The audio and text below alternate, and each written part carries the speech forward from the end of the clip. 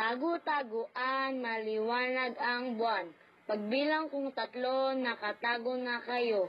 Isa, dalawa, tatlo!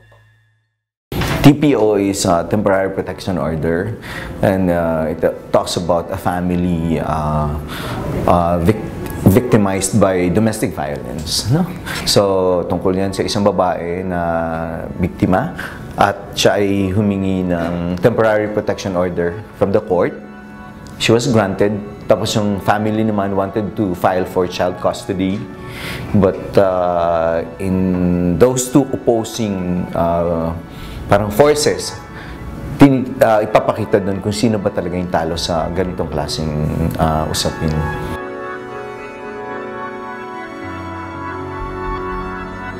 Uh, I play the role of Teresa, who is an abused um, wife and emotionally abused, physically abused, abused, and mentally abused. And the setting is in a family setting, in a home setting, and she's a young mother na gusto lang niya makuha yung rights sa anak niya. It was pretty challenging. I'm, I'm really glad na si Direk J. Altareo talagang tulungan niya ako sa mga eksena. And I was surprised because the way he was he's shooting the film, it's also my first time to work with Direk J.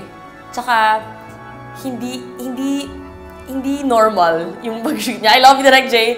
Um, I love the way his mind works. Uh, it's different.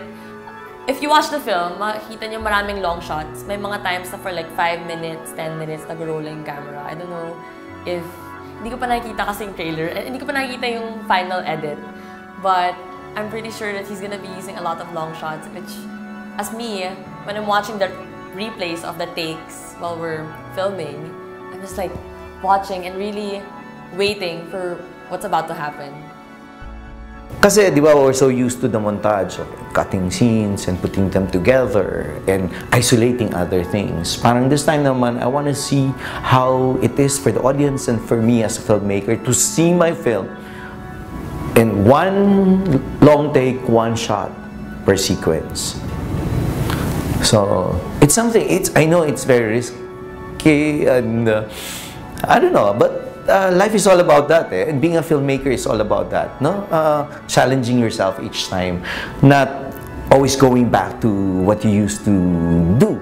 The nice thing about this film for me is maganda siya definitely sa mga kababaihan na takot magsalita, na takot na lumaban, uh, na marami na silang dinadanas na hirap, pero dahil takot sila sa asawa nila o mahal nila, pinaprotektahan nila, it's hard for them to speak up. So, para sa akin, I hope na with people who will watch this film, mabigyan sila ng courage and tapang to stand up for their rights.